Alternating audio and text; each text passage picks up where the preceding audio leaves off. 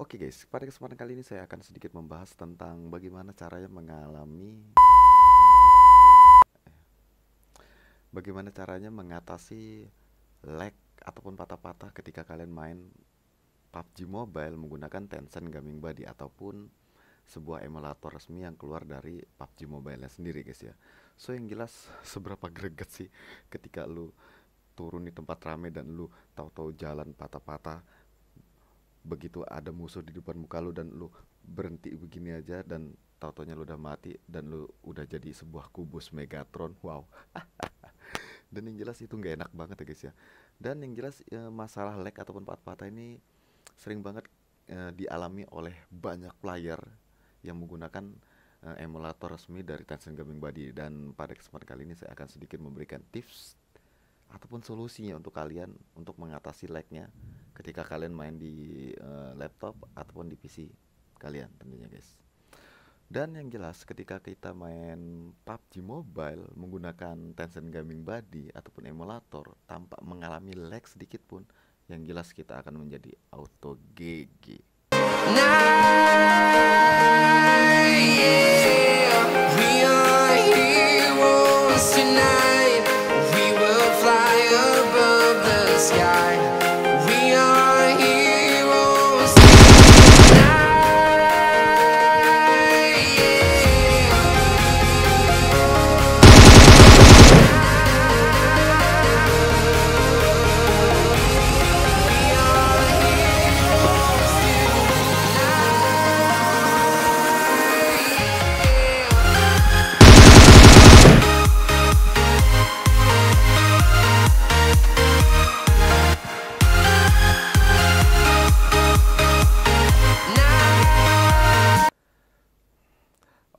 Tanpa berlama-lama kita akan langsung saja ke pokok pembahasannya guys ya. Nah, langkah pertama yang harus kalian lakukan adalah kalian klik kanan pada uh, icon TSPC ini atau jika kalian tidak punya icon TSPC di desktop kalian, kalian bisa mencarinya di uh, explore uh, file explore ya guys ya. Oke, file explore. Oke, klik kanan dan kalian pilih yang paling bawah properties dan di sini kalian bisa langsung saja open file location. Langsung klik kanan lagi. Uh, ada icon TSPC lagi klik kanan dan pilih yang paling bawah yaitu property. Intinya property sampai keluar settingan seperti ini. Nah sampai keluar control panel seperti ini. Atau kalian bisa langsung ke Windows aja dan kalian cari di control panel. Itu lebih simple sih sebenarnya guys. Oke okay kalian pilih Advanced System Setting dan di sini kalian bisa lihat uh, di Advanced itu ada Performance dan kita klik Setting. Nah, jika kalian pada komputer kalian ataupun laptop kalian itu belum diapa-apain, itu tanda centang itu ada di paling atas guys. Tapi untuk mempermudah ataupun memberikan performa terbaik ketika kita berada di dalam game, kalian pindahkan ke nomor 3.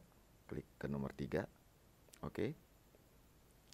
Lalu jangan di oke dulu, jangan di oke dulu. Kita ke advance, ke advance lagi dan kita ke program. Di sini program udah dicentang ya guys ya.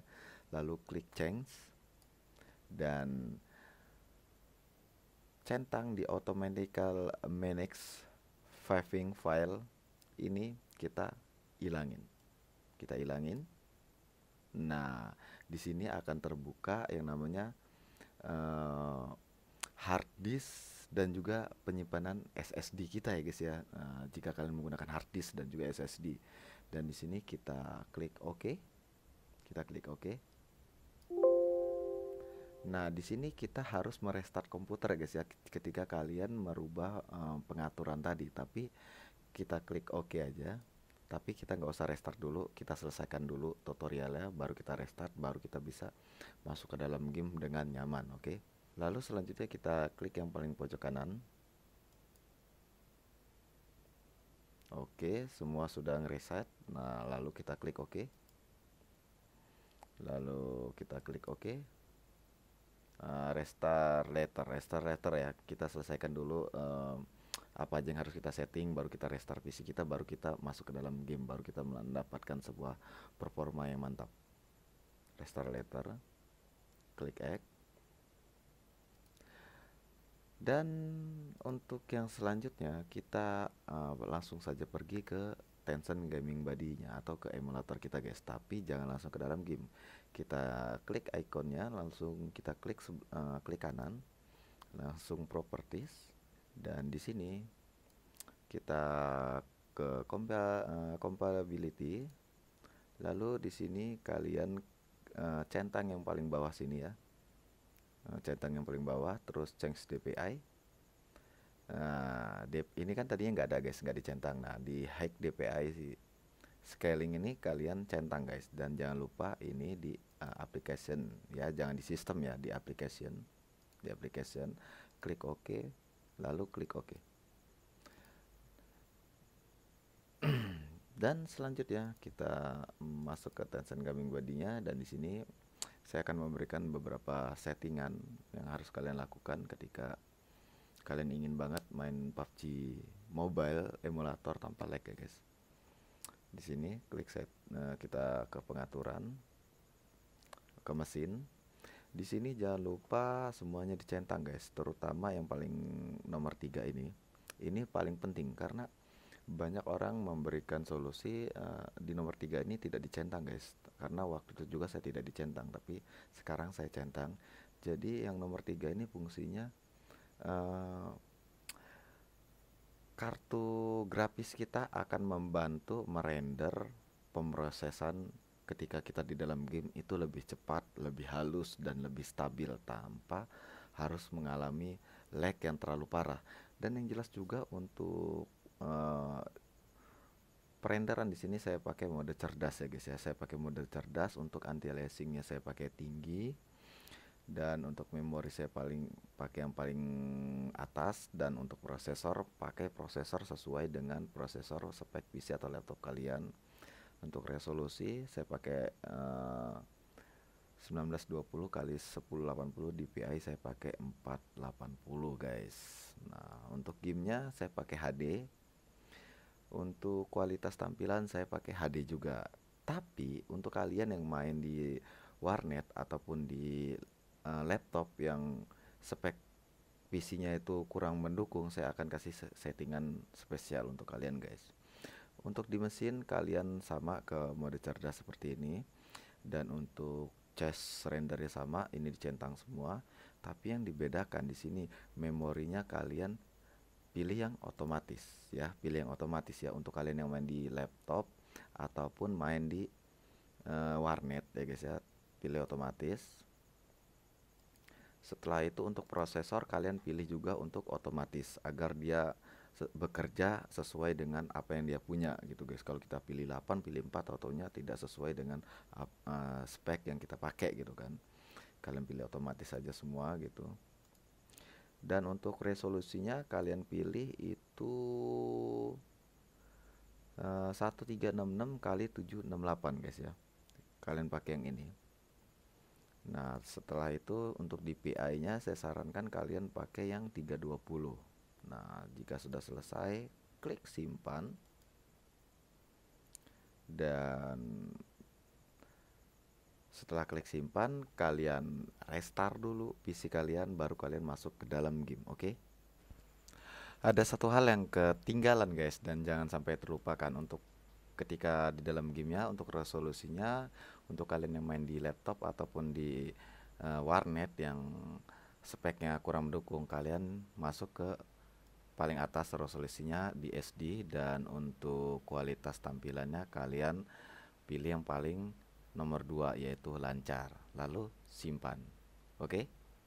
oke okay guys. Langkah langkah selanjutnya kita akan sedikit beri sentuhan-sentuhan di in gamenya ya guys ya. Agar semuanya bisa normal. Kita masuk ke settingan grafis. Untuk grafisnya kita pilih atau kita gunakan yang halus saja Sebenarnya saya support dengan HDR tapi untuk teman-teman saya sarankan itu pakai yang halus saja. Sedang untuk frekuensi bingkai gambar saya sarankan kalian pakai yang ekstrim. Karena apa?